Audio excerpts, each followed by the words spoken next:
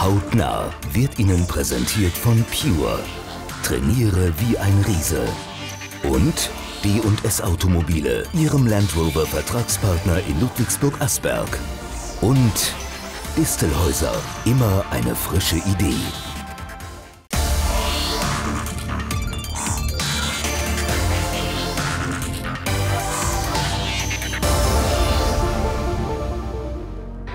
Hallo und herzlich willkommen zu Hautnah erzählt und wir starten direkt in den heißen Februar, denn für die Ludwigsburger MAP-Riesen fängt die Crunch-Time eigentlich schon jetzt an.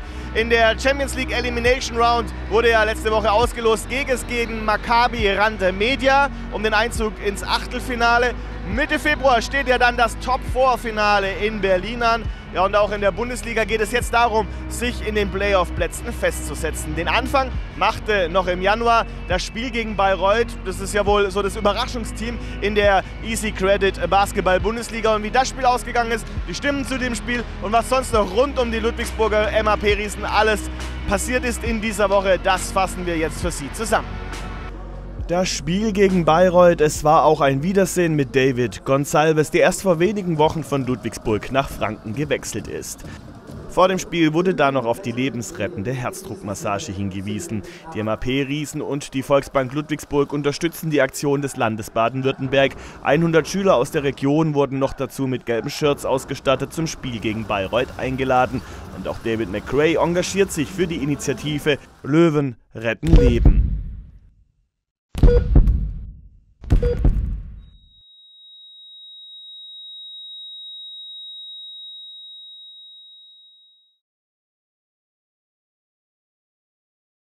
Dabei können wir alle helfen, diese Überlebenschance zu verdreifachen.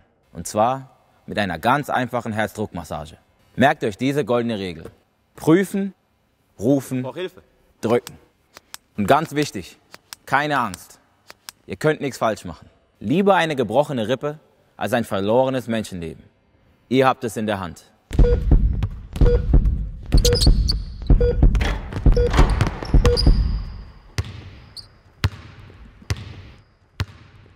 Zum Spiel gegen das Überraschungsteam der aktuellen Saison Medi Bayreuth. Nach zwei krankheitsbedingt verpassten Spielen stand John Patrick wieder an der Seitenlinie. Er sah einen starken Beginn seines Teams. 23 zu 19 ging das erste Viertel an die Riesen. Doch dann der Kompletteinbruch in Viertel 2, das Bayreuth mit sage und schreibe 23 zu 5 für sich entschied. Das war einfach gar nichts. Wir sind in der Offensive ganz schön ins Schwimmen gekommen und haben auch defensiv stark nachgelassen. In der zweiten Halbzeit haben wir uns aber stark zurückgekämpft. Daran müssen wir jetzt anknüpfen, dann sieht es in den kommenden Spielen ganz gut aus. Erstaunlich, dass ein Team wie die MHP-Riesen in so einer fortgeschrittenen Saisonphase noch so zusammenbrechen kann. Also das ist eine neue Mannschaft, ist eine neue Mannschaft und äh, besonders äh, inside haben gesehen, wir sind sehr leunig. Ähm, zweiten Viertel war ein total blank von äh, was wir inside kriegen. Und äh, wir müssen uns noch gewohnen. Wir sind gewohnt, äh, John Brockman, der immer 110% Energie und Konzentration äh, hatte. Und äh, jetzt müssen wir äh, schnell reagieren, wenn wir merken, oh, einer oder der andere nicht da ist. Und, ähm, wir haben unsere zweite Auszeit schnell genutzt und dann nachher war es nichts besser. Äh, dritten Viertel, wir hatten eine Halbzeitpause. Im dritten Viertel haben wir äh, wesentlich besser gespielt und äh, sogar die Führung genommen. Die zweite Hälfte macht dagegen wieder Mut. Die Riesen kämpften sich zurück, führten sogar bis zwei Minuten vor Schluss, bis Steve Wachalski einen wichtigen Dreier versenkte. Bayreuth gewinnt mit 79 zu 76 und fügt Ludwigsburg die zehnte Niederlage im 18. Spiel zu. Es war ein Wechselbad der Gefühle. Es waren aber auch ein paar unglückliche Schiedsrichterentscheidungen gegen uns dabei. Aber wir schauen jetzt nach vorne und versuchen als Team zu reifen. Damit starten die Riesen jetzt in den heißen Februar. Jetzt zählt es, jetzt können Viertel wie das zweite gegen Bayreuth über das Aus im Top 4 und der Champions League entscheiden. Druck ist ein Teil des äh, Sports und wir haben 14 äh, Champions League Spiele gespielt. Das war unser 18. Äh, League-Spiel. Wir haben ein Pokal-Quali-Spiel äh, gespielt. Also jetzt müssen wir für diese Top-Games gewohnt äh, zu sein und ähm, ich glaube, das hat auch, wenn, auch wenn wir heute verloren haben, hat es uns ein bisschen Selbstvertrauen gegeben, dass wir gegen eine gute Mannschaft äh, zurückkämpfen können. In der Champions League geht es in der Elimination Round für die Riesen gegen Maccabi Rand Media aus Rishon LeZion in Israel. Die Riesen müssen am 7. oder 8. Februar erstmal auswärts ran. Also viele bekannte Spiele in äh, Rishon LeZion. Ähm, drei Leute, die in der Bundesliga gespielt haben. Ähm, sehr athletische Mannschaft, sehr stark inside äh, und äh, es ist eine super Chance für uns. Wir sind froh, dass, äh, dass wir nach Israel äh, gehen dürfen, statt äh, irgendwo äh, ein bisschen kalter. Okay. Und dann, wenn wir das schaffen, haben wir auch ein, ein eine Mannschaft in, in Litauen, wo wir auch, äh, was wir denken, äh, was wir denken machbar ist. Ja, und am 18. und 19. Februar steht in Berlin ja noch das Top-4-Finale um den Pokal an. Für die Fanreise nach Berlin stellt Hauptsponsor MHP zwei kostenlose Busse zur Verfügung. Alle Infos dazu gibt es auf der Homepage der MHP-Riesen. Freuen durften sich die Fans übrigens bereits zum dritten Mal in dieser Saison über 5000 Euro der Süddeutschen Immobilienwerte AG, denn Maskottchen Lurchi hat auch gegen Bayreuth den Fanshot von der Mittellinie versenkt. Hautner 10 geht in eine ganz kurze Pause. Dann sind wir zurück mit unserem Hautner-Spieler der Woche, die Nummer 33, Chad Tobbert. Er sieht aus wie ein Deutscher von nebenan. Es könnte auch Heinz Müller sein, ist aber wie gesagt Chad Toppert. Er hat den amerikanischen und den äh, deutschen Pass und was da dahinter steckt, das erfahren wir gleich nach der Werbung.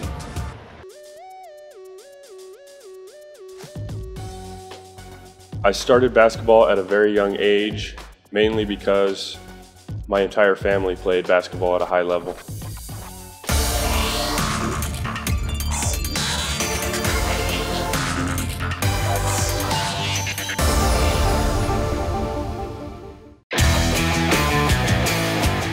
Unterstützen Sie die MHP Riesen Ludwigsburg. Basketball der Spitzenklasse.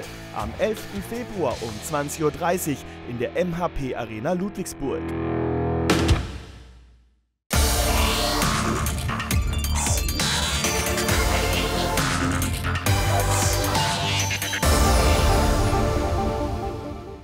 Herzlich willkommen zurück bei Hautnah und jetzt geht's weiter mit dem Hautnah-Spieler der Woche und das ist heute, wie versprochen, Chad Toppert. Chad Lee Choppert, 1985 in New Mexico geboren, seit Sommer Shooting Forward bei den MHP-Riesen. Davor hat der 1,98 Meter große Dreier-Spezialist schon in Spanien, den Artland Dragons und bei Bayern München gespielt. In Ludwigsburg gefällt es ihm aber natürlich am besten. Well, I'm definitely really enjoying myself now uh, in Ludwigsburg. It's a really nice city. really family friendly. A lot to do for uh, uh, my daughter and, and my wife. So uh, really enjoying it uh, and now here in Ludwigsburg. Von 2015 bis 2016 spielte er bei den Reno Bighorns, wo auch schon die beiden Riesenlegenden Kobe Carl und Michael Stockton aktiv waren.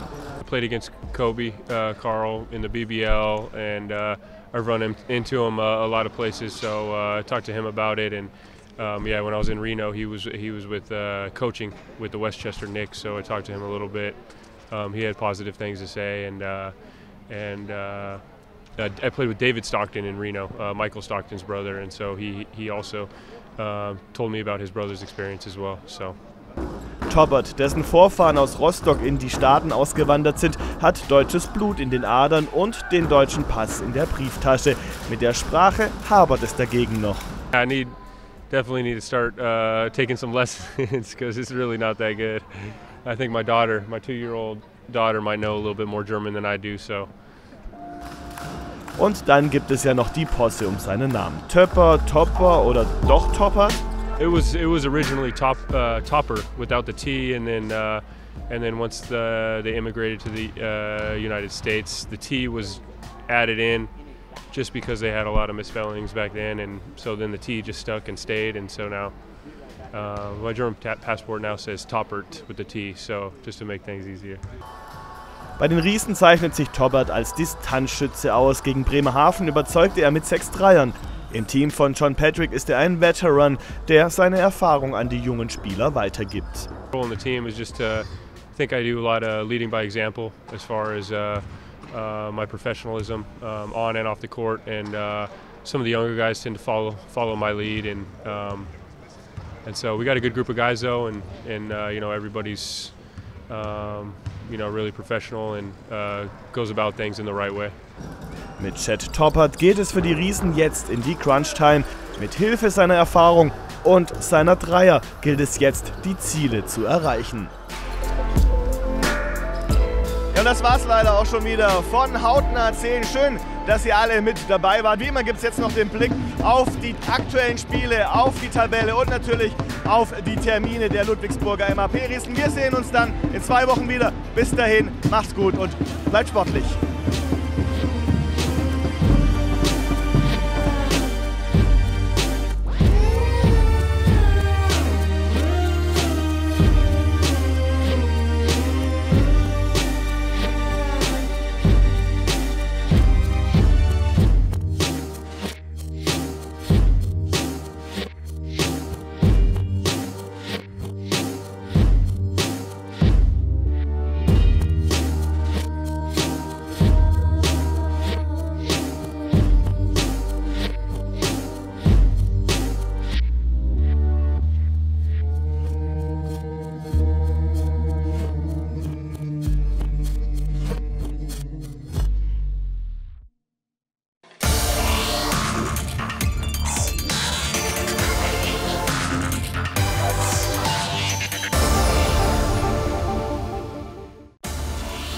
Hautnah wurde Ihnen präsentiert von Pure.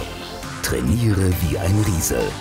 Und D&S Automobile, Ihrem Land Rover Vertragspartner in Ludwigsburg-Asberg. Und Distelhäuser, immer eine frische Idee.